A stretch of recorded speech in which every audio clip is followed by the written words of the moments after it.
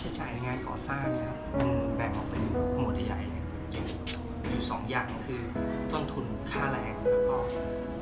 ต้นทุนค่าของนะครับซึ่งถ้าเป็นงานทั่วไปที่ไม่ได้ใช้ฝีมือทักษะช่างมากเนี่ยค่าค่าของเนี่ยเฉลี่ยมันจะอยู่ที่ประมาณ7%นะครับก็ค่าแรงอยู่ที่ประมาณ 30%โดยประมาณนะครับ คราวนี้เข้าเรื่องว่าทำไมถึงไม่ควรกดค่าแรงช่าง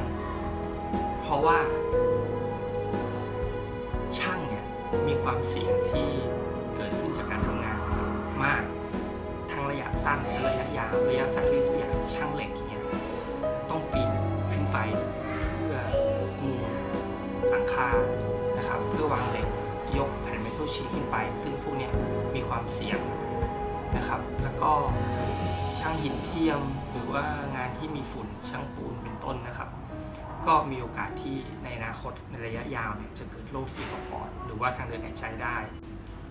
การที่เราให้เขาเนี่ย ถ้าเขาเก็บเป็น หรือ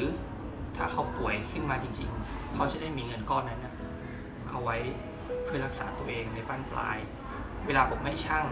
ชุดที่มีความเสี่ยงเยอะนะครับ ไฟอีกอย่างนะครับ ผมที่มีความเสี่ยงเยอะ ถ้าเรามองจุดนี้ประกอบด้วยเนี่ยเราจะรู้สึกว่าเออมันน่าให้เขา ให้เขาไปเถอะนะครับ อยากให้มองแบบนั้น แต่ต้องถึงช่างจริง ๆนะ แล้วก็ผมไม่ได้บอกว่าห้ามต่อรองนะครับ ต่อรองได้ เพราะค่าแรงมันต้องสมเหตุสมผล แต่เขาทำเสร็จก็คือต้องเหลือติดไม้ติดมือไปนะครับ ถ้าจะลดจริง ๆ เนี่ย ให้ไปลดที่ค่าของนะครับ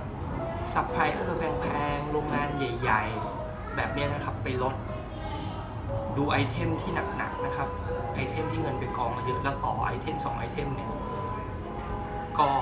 ก็ได้คืนมาเยอะแล้วนะครับค่าแรงช่างดูตามสมเหตุสมผลนะครับฝีมือช่างก็ต้องดีด้วยนะฝีมือช่างดีให้สมเหตุสมผลนะครับ อย่ากกดจนเกินไป แล้วทุกฝ่ายในงานก่อสร้างเนี่ยก็จะทำงานด้วยกันอย่างมีความสุข